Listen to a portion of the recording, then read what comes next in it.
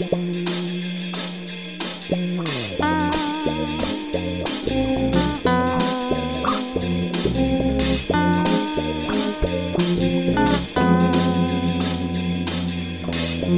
looks at his 15th story window at the bustling crowds, scrambling like insects crawling over the carcass of the city.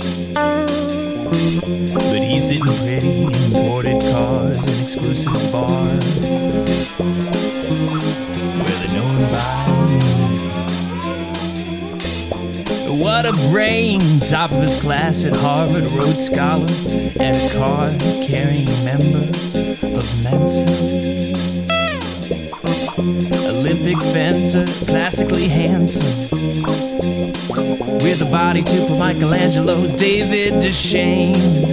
And he looks down and he looks down and he suddenly exclaims, My God, my God, my skin is crawling.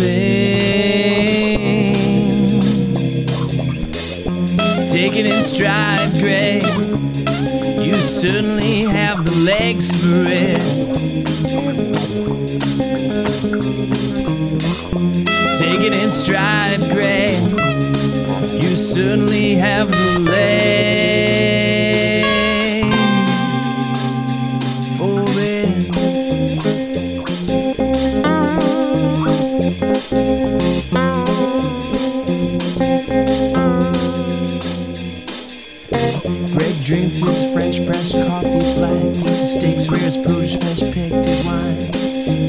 scotch drinking age.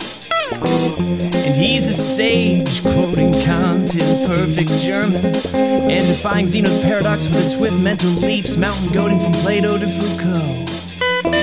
He keeps a rigorous social regimen behind a shiny exoskeleton of double-edged smiles and polite disinterest.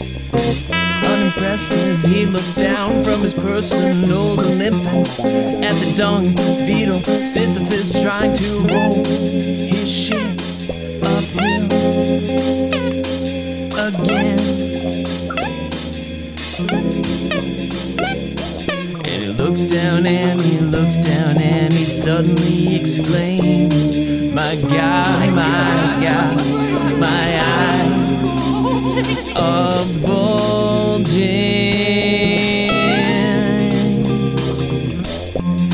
it in stride, Greg. You certainly have the legs for it.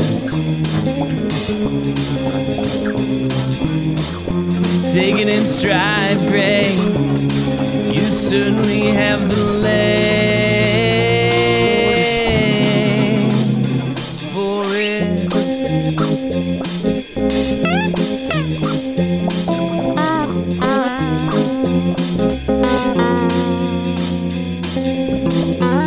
listens to Strauss and surround sound waves a timpani break on the scene. No feeling in the tips of his fingers or his toes, throbbing in his ears and buzzing in his brain. He looks out his 15 story window at the bustling hive, a mindless drone. Alone on Olympus, he's the god of decay. He scrabbles on the floor, puts out his feelers, sheds his skin with potato peelers then arises to look over his domain. And he looks down and he looks down and he suddenly exclaims, My God, my God, my thorax is swelling. Take it in stride, Greg. You certainly have the legs for it. In stride, Greg. You certainly have the legs for it.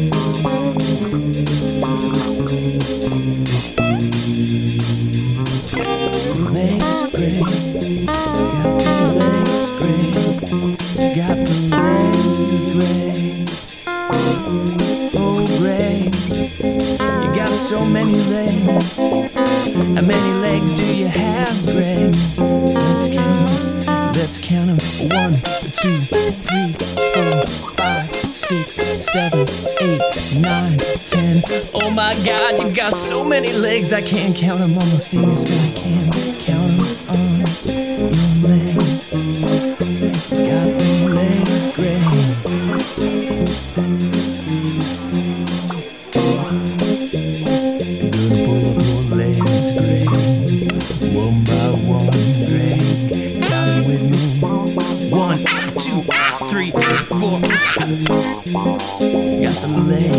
gray.